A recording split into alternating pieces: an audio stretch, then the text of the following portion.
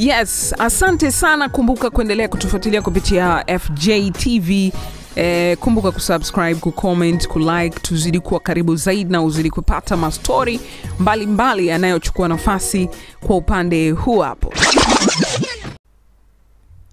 Na mchezo kati ya timu ya taifa ya Tanzania umetamatika kule Lubumbashi e, katika uwanja wa TP Mazembe ambapo Tanzania na DR Congo wametoka sare ya bao moja kwa moja. Dakika ishirini na tatu tu uh, zilitosha kabisa kuipatia DR Congo bao la kuongoza kupitia kwa Dudon Mbokani na Simon Msuva alisawazishia Tanzania katika dakika ya 35. Tanzania inasubiri mchezo kati ya timu ya Madagascar ambao watakuja hapa Tanzania kucheza raundi ya pili ya kundi J. Hii ni FJ TV. Endelea kutufuata katika mitandao ya kijamii Instagram, Facebook, Twitter pia. Pia usisahau kusubscribe katika YouTube channel yetu.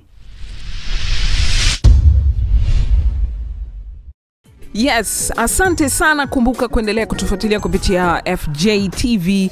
Eh, kumbuka kusubscribe, kucomment, kulike, tuzidi kuwa karibu zaidi na uzidi kupata mastori mbalimbali yanayochukua nafasi kwa upande huu hapo.